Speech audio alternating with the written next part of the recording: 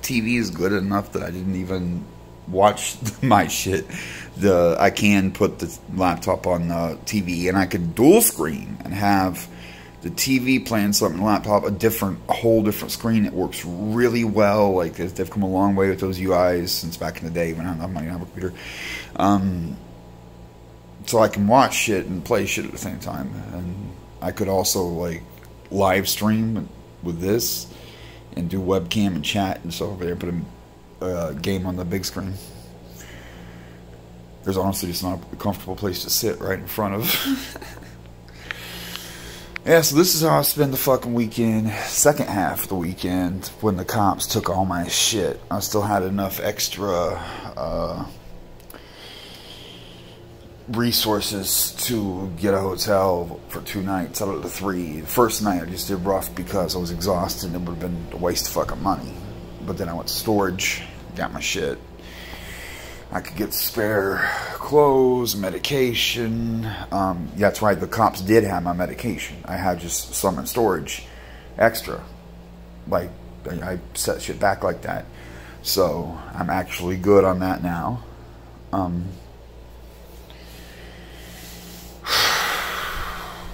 trying to play a little bit, but my head was a little bit. When you're depressed, you got to have a lot of hormones going to do StarCraft really well. So. Oh, and I played a touch of Call of Duty last night. I never forget the time. Um, and I got all night tonight. Sleep again. So, you know, and I got some work done, and I'll put in maybe three hours of work. Um, it pisses me off because usually when I, if I come do something like this, first of all, I could save 30, 40% at an Airbnb, and second of all, um, I'm more prepared. Like I've got, well, shit, I guess I did have recordings because of the fucking Walmart. Um, I usually have a lot more work set up to do, and something I just fucking realized a few minutes ago. My phone quit upload. Like I'm not actively uploading, so it takes forever, and fucking you get failures, and I'm gonna go look and find something that needs to be uploaded and set it to uploading and use the other devices. So I have the opportunity. Be as productive as possible. Come on, 5G. I was just talking to a fucking anti-5G guy says it's causing the coronavirus yesterday. You fucking nitwits. I was all for eugenics and just killing the dumb ones before. Now, like, come on, Jeez, fuck.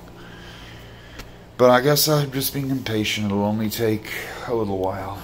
So, right now...